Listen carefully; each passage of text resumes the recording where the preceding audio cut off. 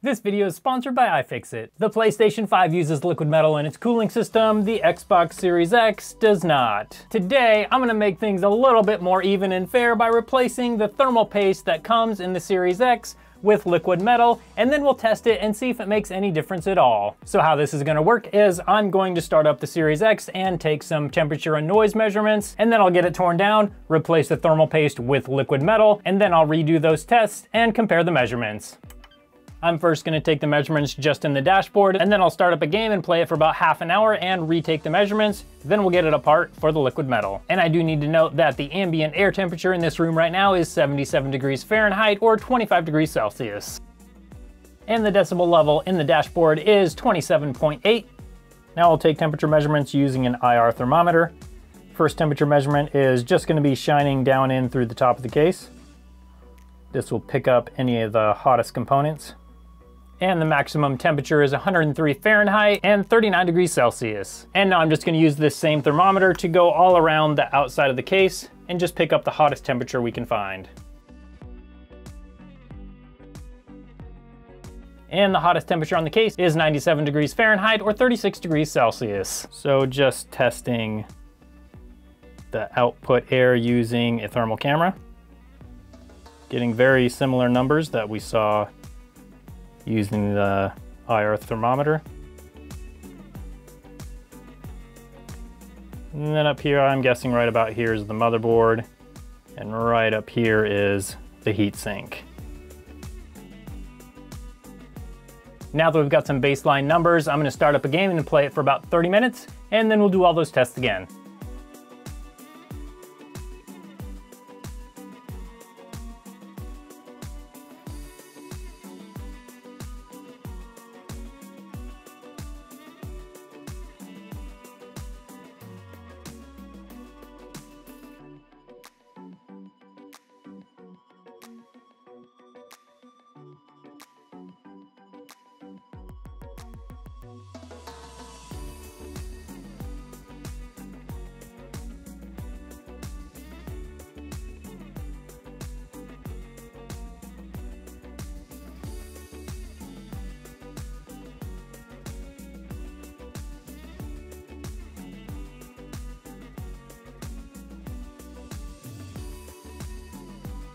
And now it's been about 30 minutes, let's check all the temperatures again. First of all, we're gonna get a sound reading.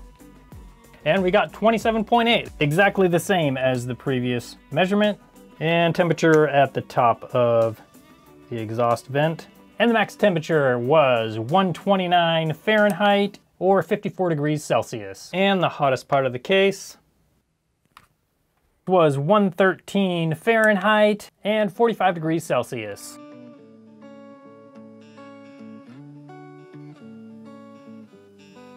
Yeah, it's interesting that up on the case, these hot spots are actually cooler than they were when it was just in the dashboard. So that fan's really pulling the heat out of this thing.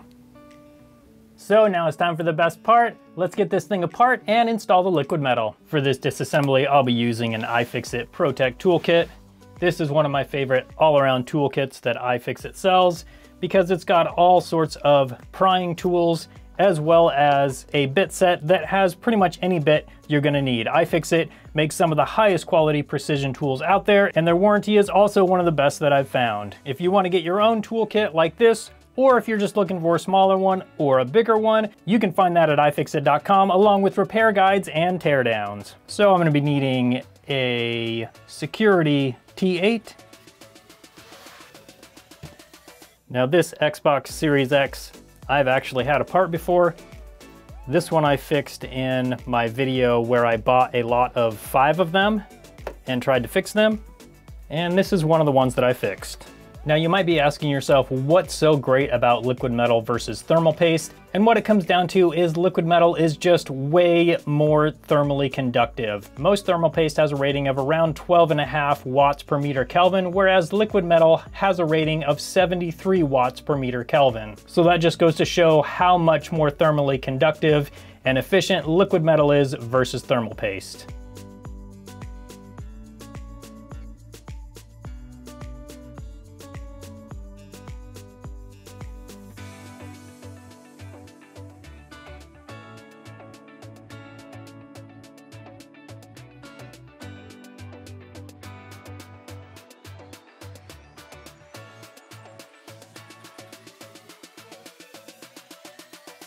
And here is the thermal paste we're gonna clean off, then we'll install the liquid metal.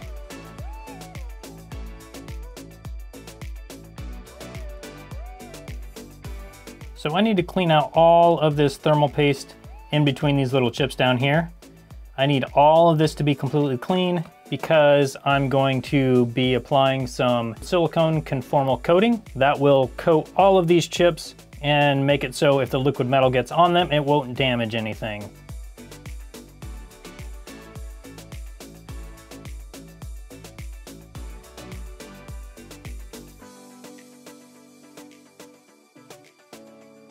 Okay, and that's looking nice and clean. Now to apply the coating.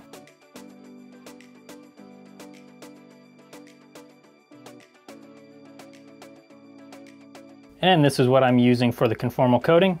I'll link that in an Amazon link in the description. It will be an affiliate link, so I will get compensated if you use that link to purchase something. And while the APU is drying, I'm gonna prep the heatsink and get the liquid metal applied to it.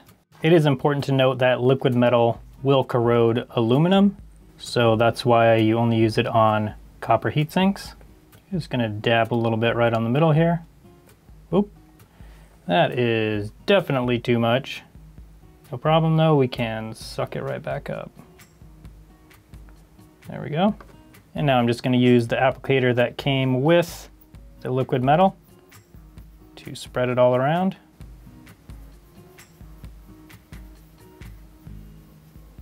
I'm just spreading it where it's going to be contacting the APU. Okay, that looks good. Now let's get to that APU. And same thing here, just a tiny amount.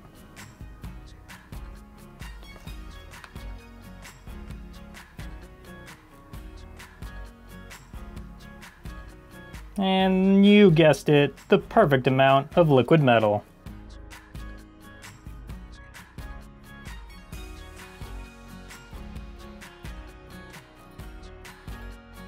And now that that's done, it's time to put it all back together and see if it makes any difference at all.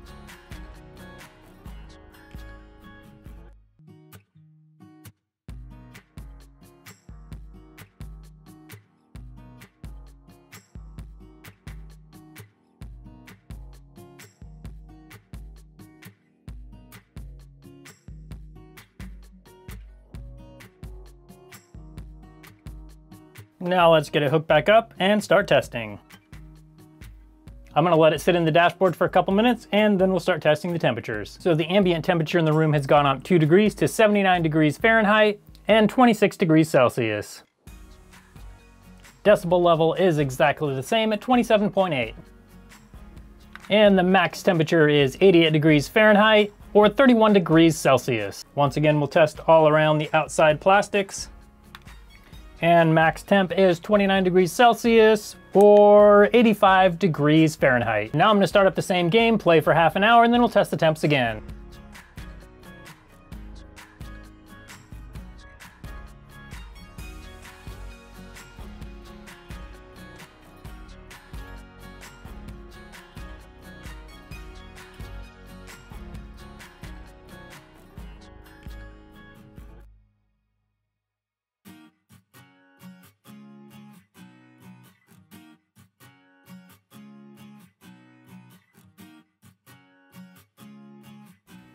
Yes.